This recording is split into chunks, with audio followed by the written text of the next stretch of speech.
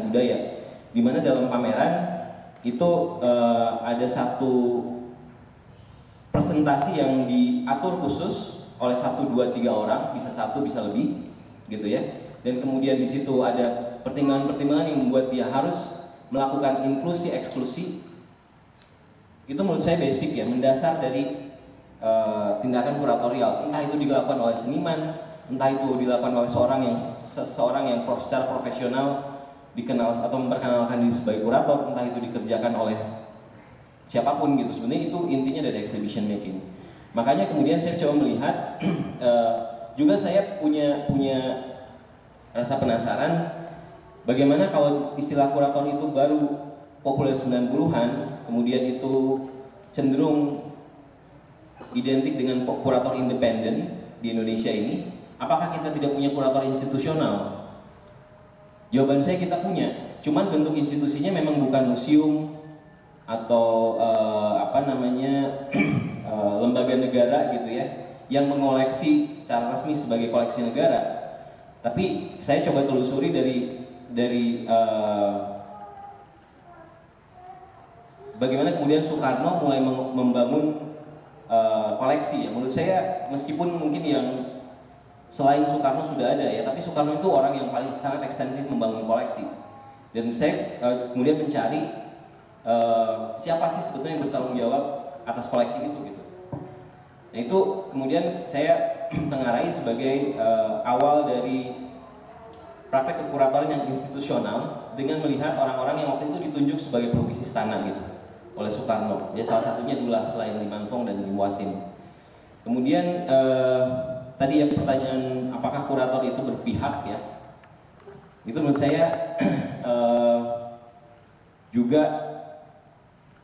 penting sekali. Di, di buku ini kemudian di akhir uh, di bagian akhir saya kemudian mencoba membicarakan tentang otonomi. Karena otonomi kuratorial terutama kalau kita bicara uh, sejarahnya di, di barat gitu ya itu ditandai dengan uh, lepasnya profesi kurator ini dari cangkang yang sebelumnya identik sekali dengan kuratoran yaitu museum gitu.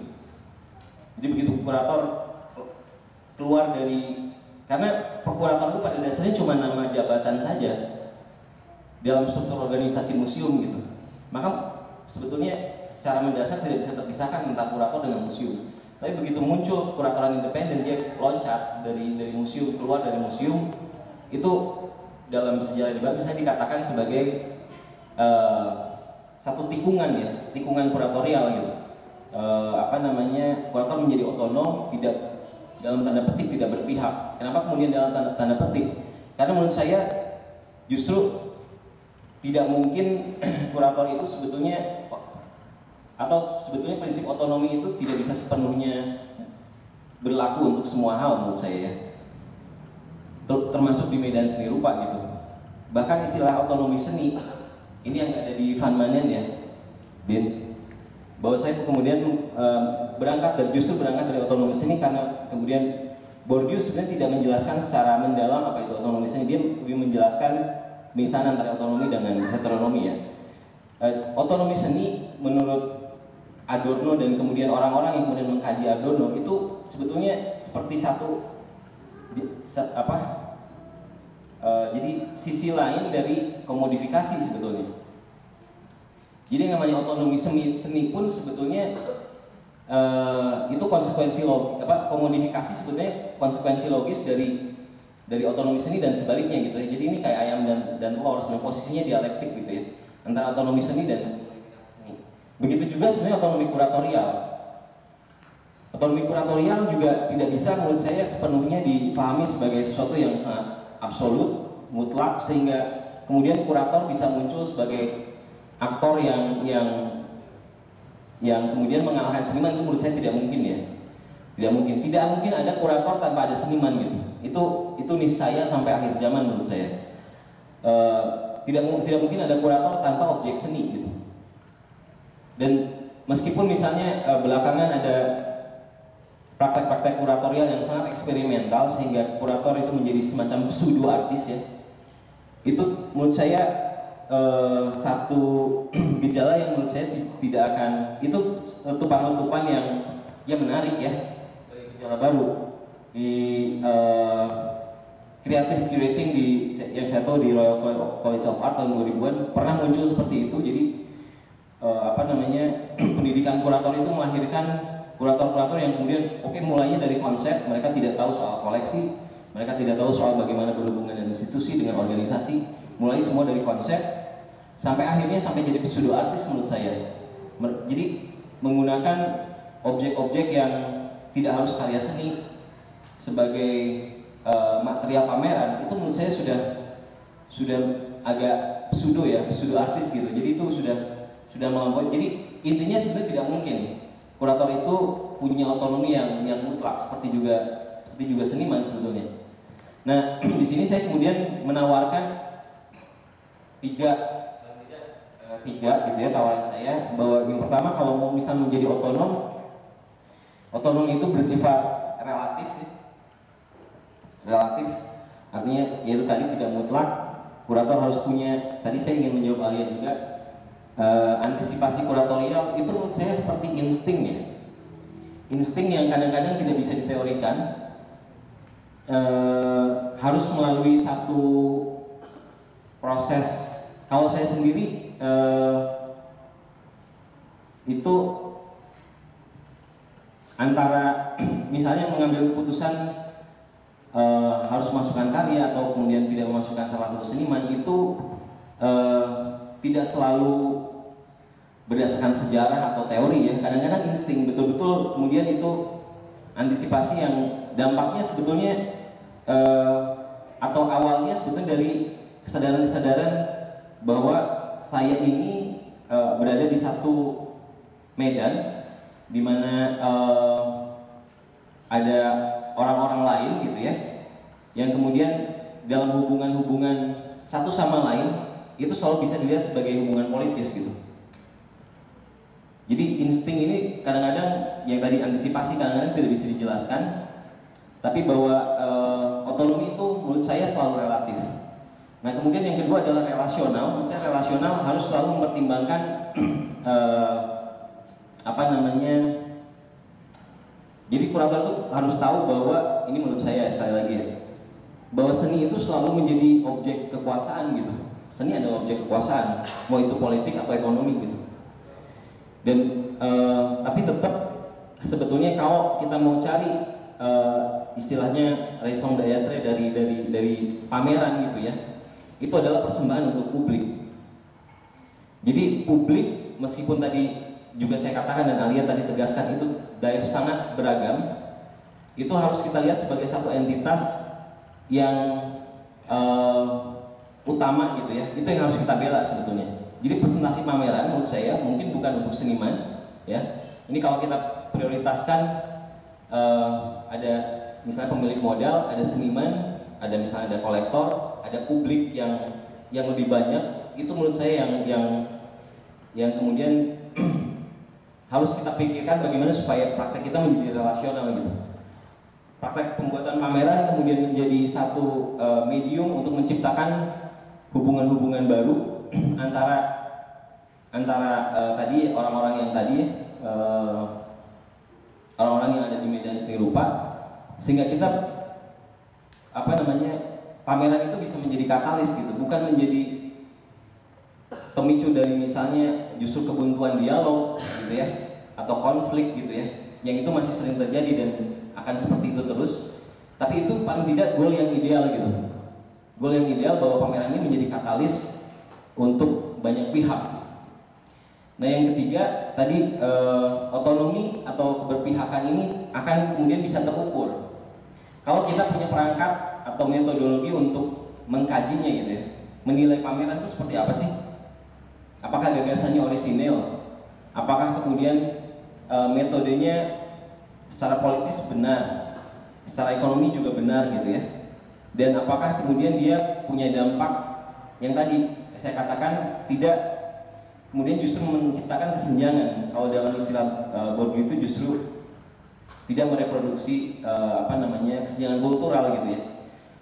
Jadi itu harus bisa mungkin kita kita uh, minimalisir. Dan itu uh, yang saya tahu dari banyak sekali pameran jarang sekali berhasil karena seni bagaimanapun itu sudah apalagi kalau kita bicara seni kontemporer bicara bienal, trienal gitu terus art dan lain-lain itu sudah publiknya elit gitu. Tetap gitu. Jadi uh, bagaimanapun otonomi itu harus mempertimbangkan banyak hal. Itu paling tidak uh, respon saya mudah-mudahan bisa menjawab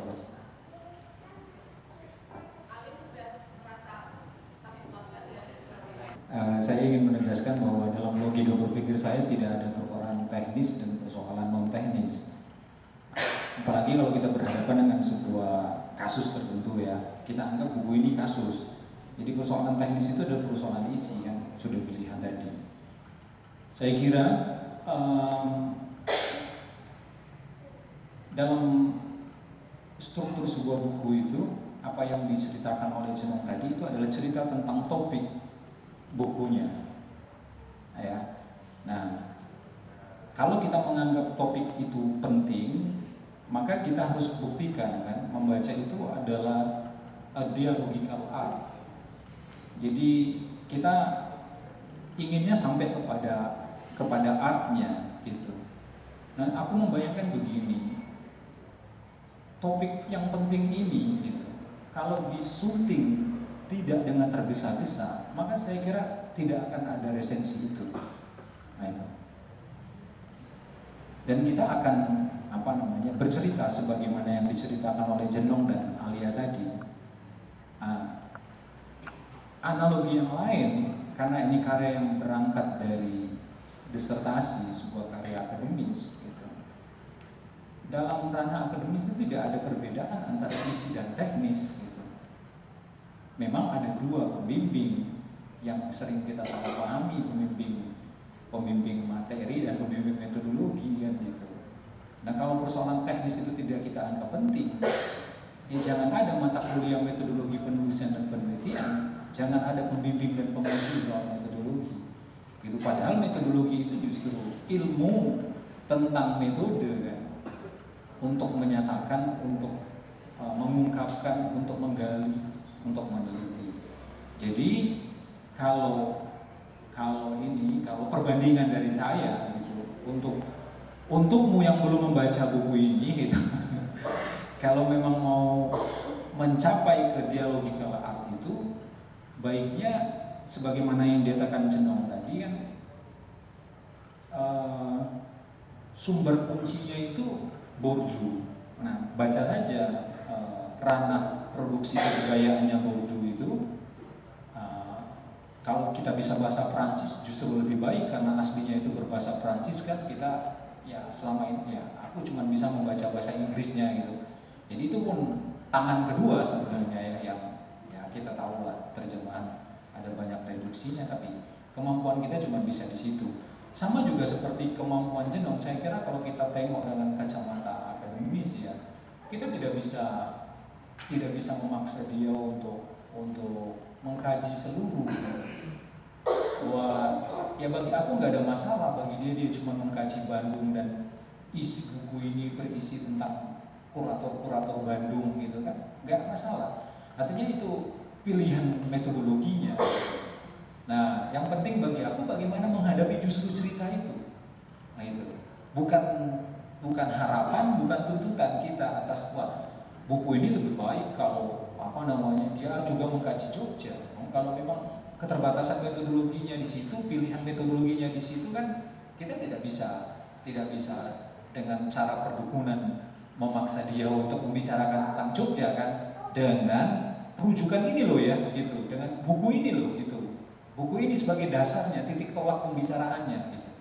Nah, ya Bordeaux penting, saya kira yang tidak kalah penting adalah Van Maanen. Gitu. Karena Van Maanen bagi aku, dia pensyarah, pensyarah yang paling bagus tentang sosiologi seni rupa sejauh ini ya. Karena kalau kita baca buku itu, kita ah paling tidak sudah bicara, bisa bicara dengan berbusa-busa tentang Danto, tentang Diki, tentang Paul Di tentang Bordu dan ada beberapa lagi uh, apa namanya uh, sosiolog seni di situ. Nah, kalau memang mau Anda mau sampai ke uh, dialogical art itu baca saja dua buku itu. Saya kira ya, kalau mau menelusuri lebih lanjut, baca Howard Baker, baca The Cycle of Art-nya gitu kan, baca uh, artwork-nya Danto gitu. Itu saya kira akan membantu pemahaman kita gitu kan. Gitu. Saya kira. Nah, Loh ya, itu tak kan gitu, bahasa gini. Nah, kalau struktur permukaannya kan kita lihat harus diingat ini tidak perkebunan Kita lihat struktur yang ada di dalam penerbitan buku ini. Ada margin kiri, ada Dewan Kesenian Jakarta. Bayanganku dengan dana yang sudah disediakan oleh negara dari uang rakyat, itu bisa membuat buku yang tidak tergesa-gesa. Gitu loh. Untuk apa tergesa-gesa? Kalau topiknya penting kan, gitu. Ada Romo Ari, saya kira dia sangat handal kalau bicara perkara koma dan terjemahan. Saya kira itu jawaban aku pada dia. Terima kasih. Oke, kalau aku mencatat tadi pertanyaan Alim adalah apakah ada bedanya pertanggungjawaban penulis penulis karya sastra yang penulis setelah uh, karya sastranya berada di ruang publik kemudian di outside dead terus kemudian lalu bagaimana penyikapan uh, pertanggungjawaban penulis dengan um, apa ya penulisan ilmiah semacam ini dan aku menangkap kalau dari aku persepsi pernyataan tadi uh, aku menangkap semacam kamu menekankan bahwa tidak tidak sama. Ada pertanggungjawaban-pertanggungjawaban yang penulis tidak bisa terlepas sampai uh, bahkan buku dan pernyataan-pernyataan itu sampai ke publik. Apakah seperti itu? Uh, uh, berlanjut ke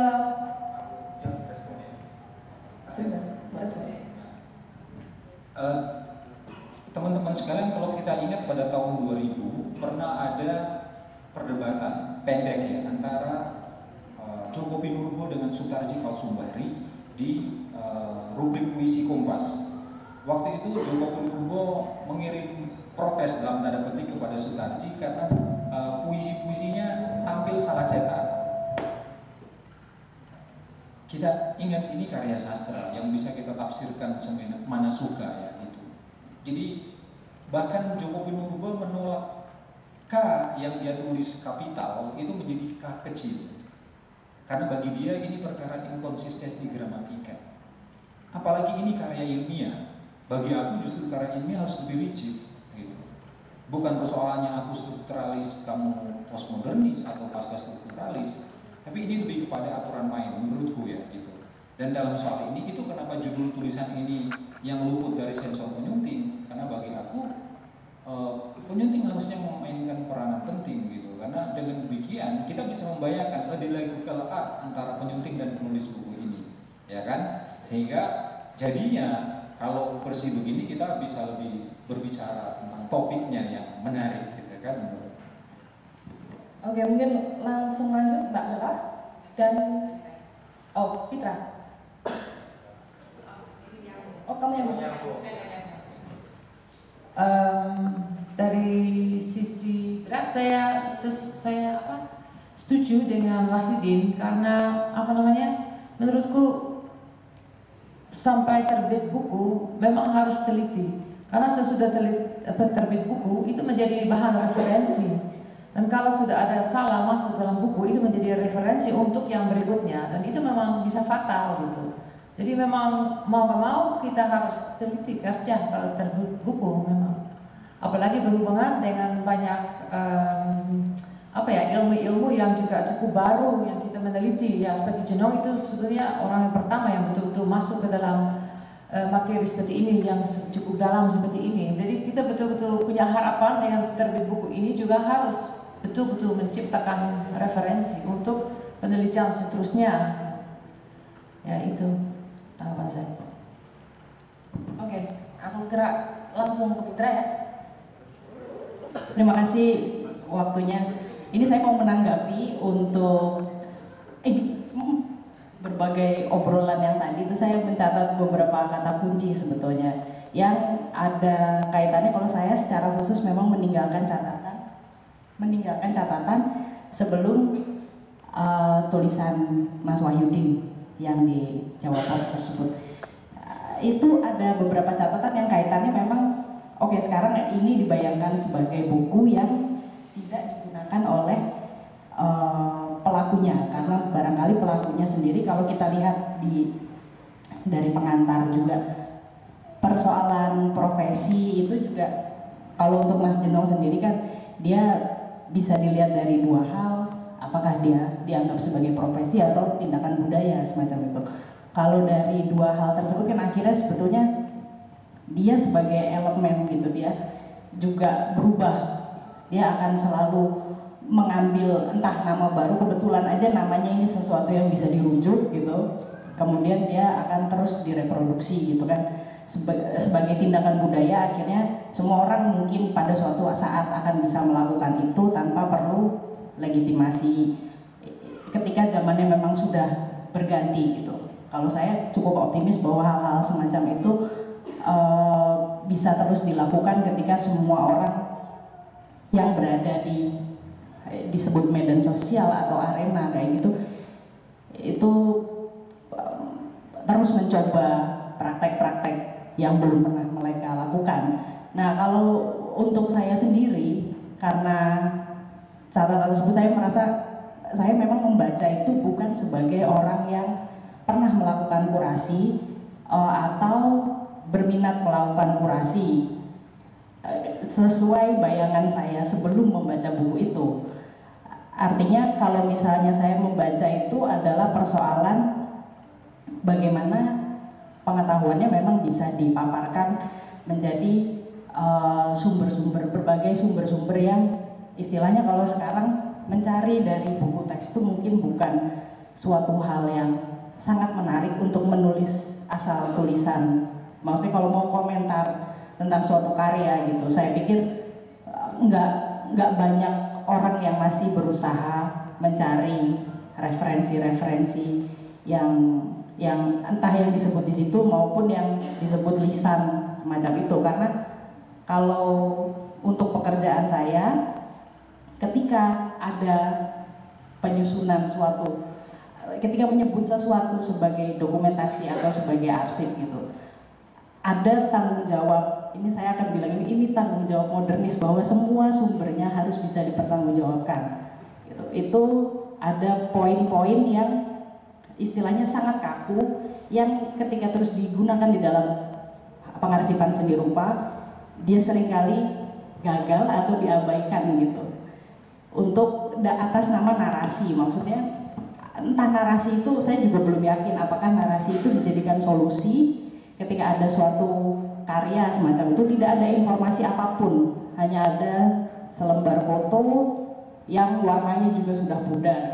Itu kondisi yang mungkin sering dialami di seni rupa Indonesia gitu. Ketika itu dianggap karya seseorang yang penting semacam.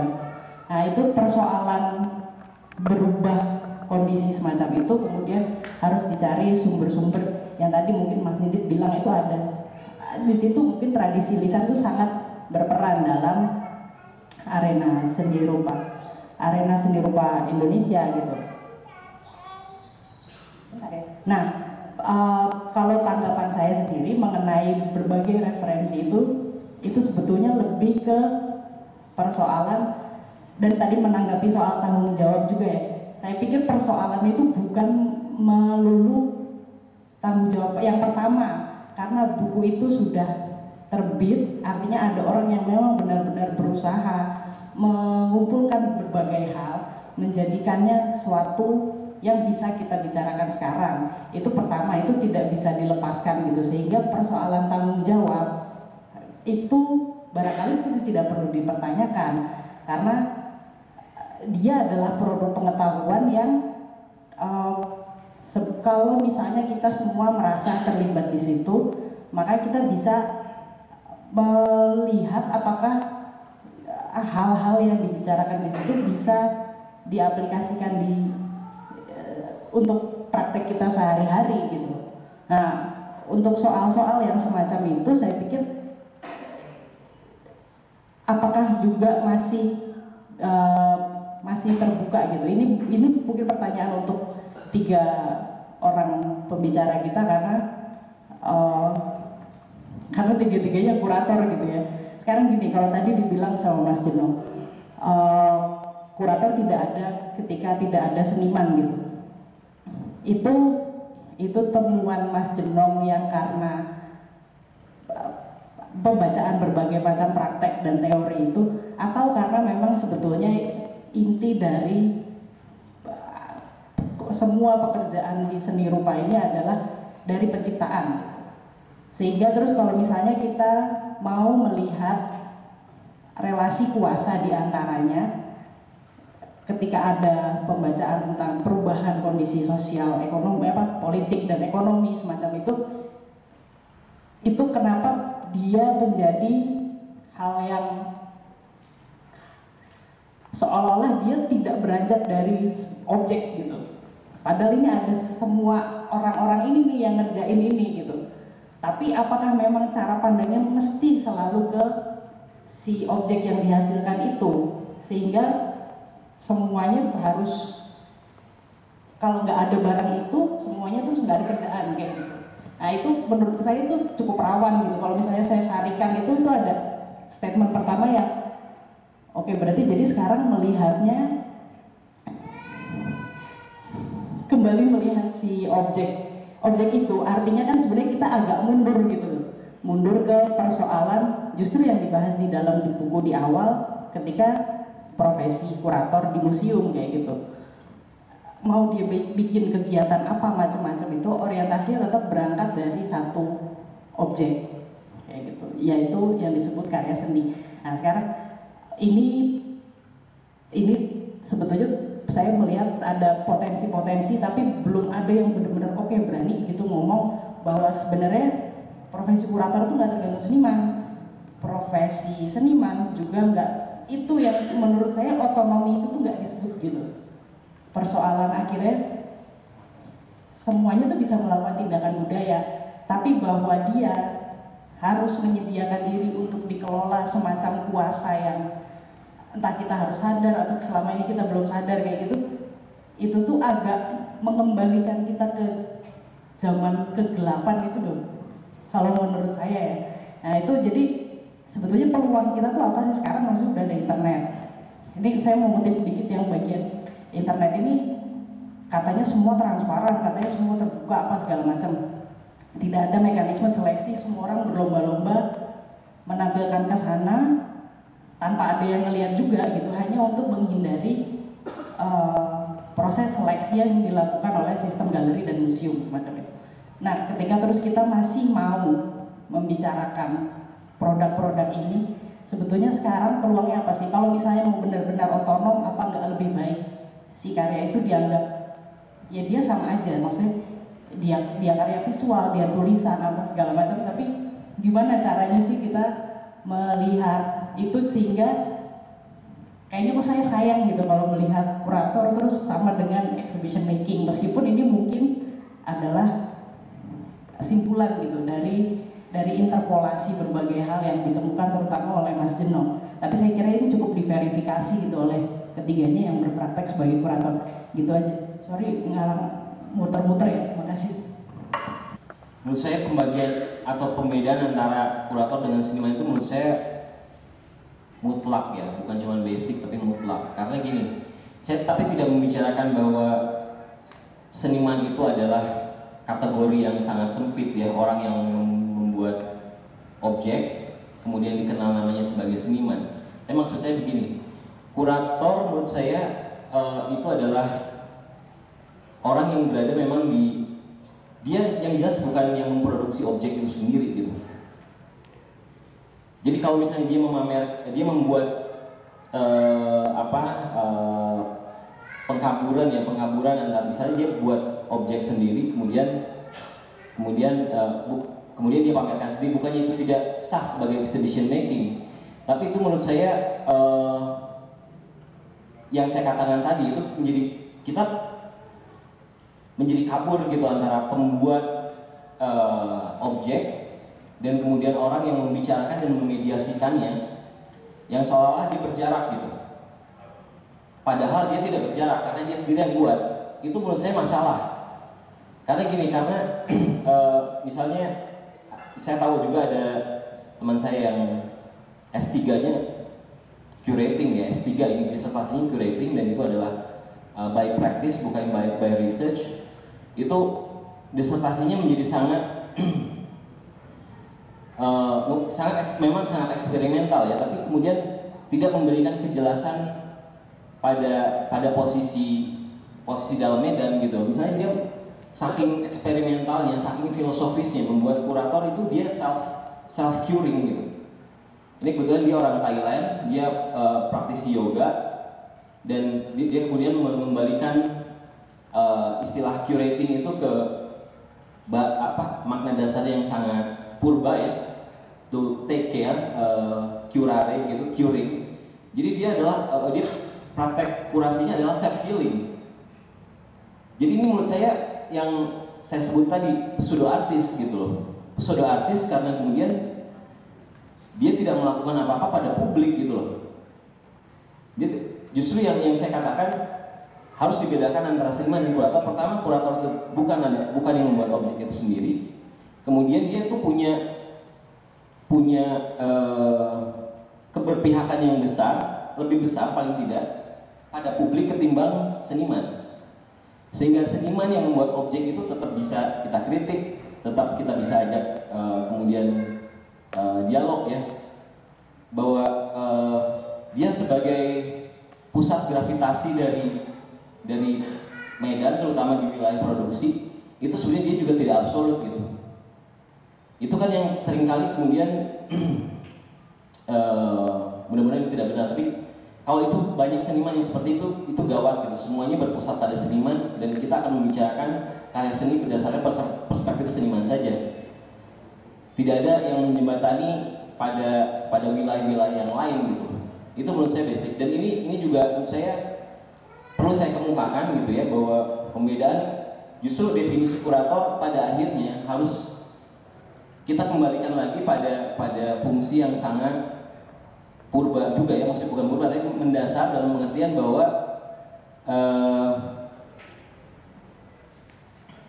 mungkin setelah galeris bisa jadi kurator, kolektor bisa jadi kurator, kemudian dealer bisa jadi kurator.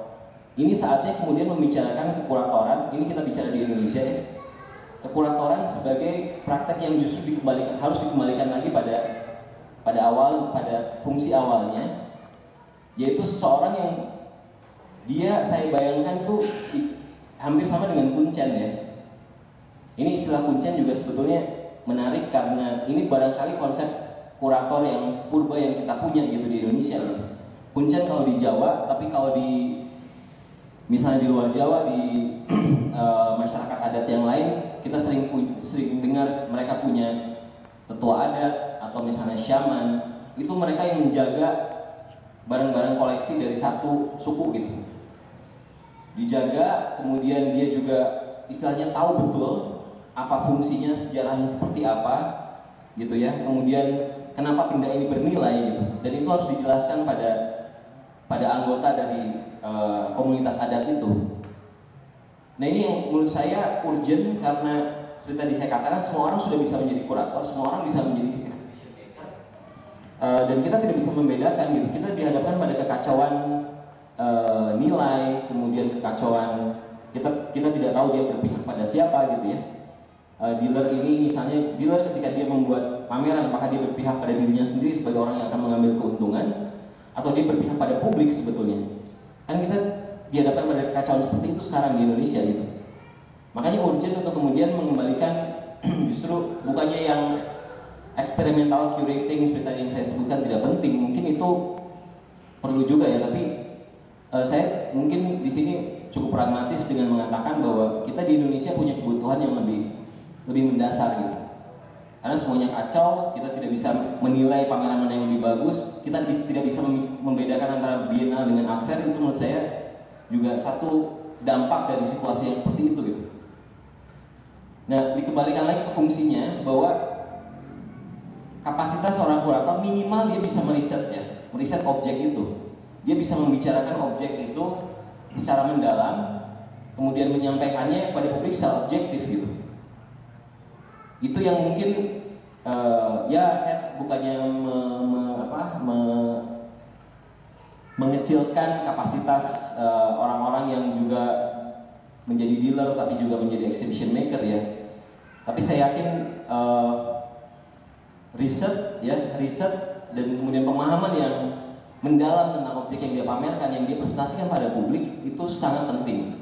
Dan itu adanya di fungsi kurator yang basic itu tadi, yang ada di museum, yang kerjanya menjaga objek itu, kemudian e, membuat pameran, mengenalkannya kepada publik, membuat public education program, sehingga dari anak kecil sampai nenek-nenek itu tahu ini tuh objek ini tentang apa sih gitu.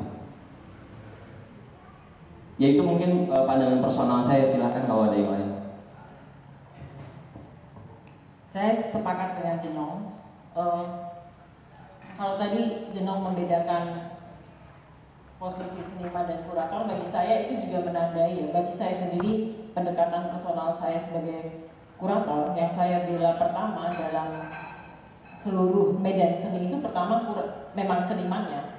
Jadi kalau kita bicara tentang konflik-konflik ada problem-problem yang disebabkan oleh ketimpangan kekuasaan bagi saya yang penting untuk dibela itu pertama senimannya gitu. Uh, tentu ada fungsi lain dari kuratorial yang tadi Jenok bilang menghubungkan dengan publik tapi bagi saya pertama-tama itu ketika saya memilih bekerja dengan seorang seniman itu sudah ada kepercayaan atas gagasan-gagasannya atas bagaimana gagasan itu merepresentasikan situasi zaman, merepresentasikan visi dan sebagainya. Dan dari situ saya mulai bekerja. Kemudian ada yang disebut sebagai proses penciptaan. Nah, kalau misalnya itu dilihat sebagai kerja kolaborasi antara seniman dan kurator. Nah, dari situ kemudian wacana-wacana yang digodok bersama ini kemudian dilempar ke publik. Jadi kalau saya memang uh, sepakat dengan Jenong bahwa uh, kadang-kadang penggunaan kata-kata experimental curating atau experimental exhibition itu sering overuse gitu dalam pengertian kalau tadi mungkin Fitra menyebut seolah-olah menjadi exhibition maker saja itu menjadi berada dalam posisi yang uh, tidak penting bagi saya itu juga masih ada pentingnya gitu. menjadi exhibition maker itu bukan sesuatu yang kemudian dihina-hina gitu.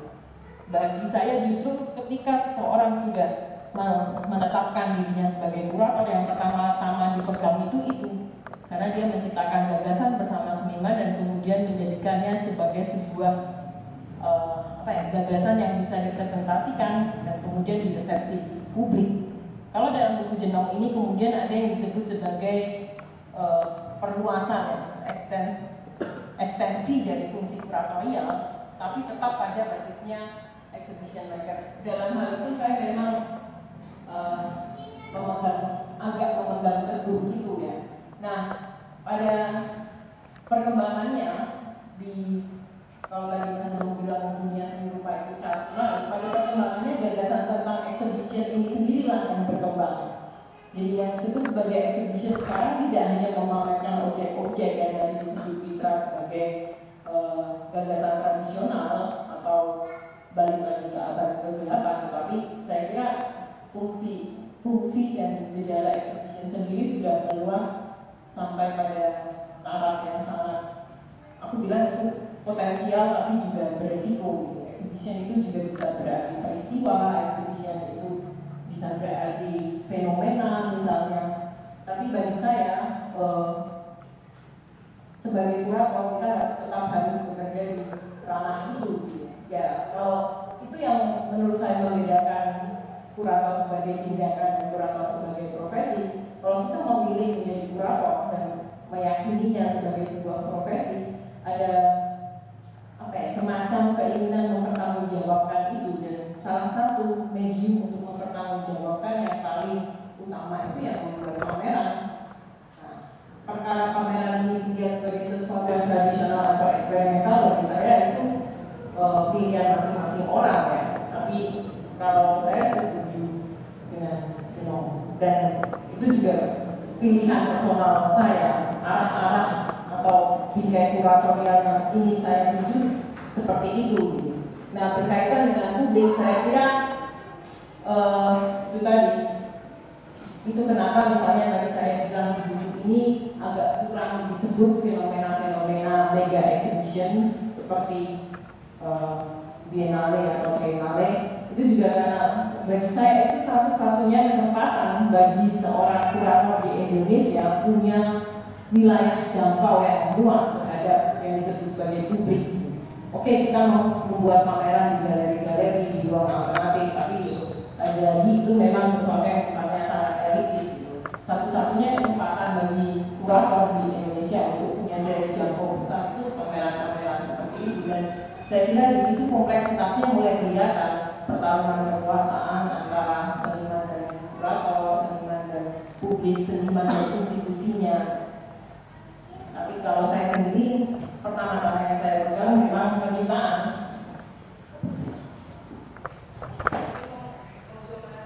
Iya, aja. Oh, boleh.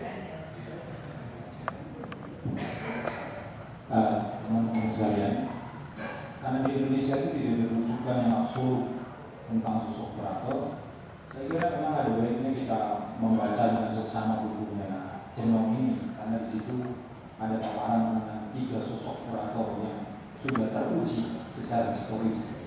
Dan kalau kita baca biografi mereka, buku mereka saya kira kita bisa menempelkan amalan kita kepada siapa saja. Mau ke Walter Cox, ke Harald Zeman atau Pak Albert Jibat dan kalau saya mengalami juga lihat tiga orang itu juga bisa kita fokus ke mana kita berada tapi kalau mau berfilsafat karena belakangan ini aku suka membaca Zog.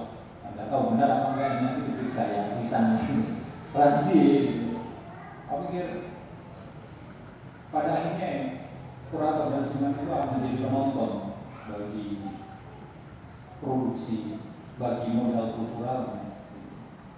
Dan dalam soal ini kata Ransia ya tujuannya adalah menjadi penonton yang teremansipasi yang tujuh yang yang di dalamnya ada yang namanya distribution of the sensible.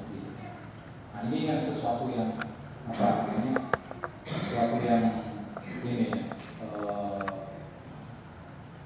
sesuatu yang tak kasat mata gitu. Yang kalau dicari turunannya saya kira mungkin akan ini akan membuat kita terus bertanya-tanya sebenarnya bukan pada sosok kurator tapi pada uh, uh, praktek uh, atau saya jadi tahu istilah tentang atau kuratoran atau kurasi gitu sebab begini um, saat dua tahun belakangan ini di Pasuruan ada pameran yang dilaksanakan oleh sekelompok perupa bernama Komunitas Guru dan Seni. Kelompok nah, guru seni rupa dan nah, perupa Pasuruan. Pamerannya di Gedung Tentara, gedung itu gedung kuno, gedung India Belanda bertiang 14 dan selama selama satu minggu pameran itu ditonton oleh 13.000 penonton. Dan berhasil menjual katalog selama seminggu 7.000 katalog. Nah, waktu itu mereka meminta saya untuk menjadi kuratornya, bilang untuk apa? Gitu. Kalau kemudian penontonnya sudah tercipta itu, maka baiklah penonton saja. Kan. Nah, kemudian dari situ yang paling penting bagi aku, kalau bukan kurator, yang penting adalah kurasi. Ya kan, kalau ya jadi prakteknya kategoris tuliskan yang penting adalah dalam dalam pameran itu adalah narasinya. Jadi bagaimana membangun narasi itu dan ya, tujuan uh, perhelatan itu. Kalau mau kembali kepada apa namanya kepada kehendak atau ambisi masing-masing, saya kira akan sangat bergantung dari ideologi dan apa uh, isi pengetahuan yang mau kita amalkan. Nah, uh, aku belajar antropologi dan di antropologi diajarkan bahwa kurator es etnografer gitu. Bagaimana mengenalkan itu juga agak agak apa namanya? Uh, belum bisa ditemukan apa penjelasan eh, kenyataannya yang saat Tetapi bahwa ada satu prinsip penting bahwa bahwa yang namanya praktek kurasi berdasarkan sudut pandang etnografi itu adalah cerita seorang kurator ketika dia berhadap hadapan dengan seorang seniman Jadi dengan cerita itu kita akan membuka jendela kebudayaan. Ini kan bahasanya bahasa-bahasa yang apa namanya ya, yang indah lah gitu ya gitu. Nah, kalau kemudian apa namanya uh, tak ditempatkan kepada ambisi masing-masing, uh, kalau aku pertanyaan pertanyaan paling penting kan tentang ke, ke Indonesiaannya gitu, karena uh, ke, ke Indonesia yang selama ini dipahami kita kan hanya Jogja, Bandung, uh, Jakarta, bahkan dulu ada Bali. Kemarin aku diundang Pak Hendro diskusi bersama dengan Ucok di selama satu minggu di Padma. Itu kita melihat bagaimana Bali juga sudah ternyata tidak dianggap gitu. Ada persoalan. Nah, ada persoalan yang menjadi cukup serius gitu kan yang kalau itu di di apa namanya ditempatkan sebagai bagian dari tanggung jawab menjadi tanggung jawab bersama karena uh, sosiologi Bali ternyata uh, sudah berkembang uh, jauh dari yang kita bayangkan. Uh, satu dua ada salah satu terakhir dengan ini dengan apa namanya dengan dengan munculnya rupa-rupa uh, Bali yang kuliah di Jogja um, balik ke Bali menetap di sana. Terus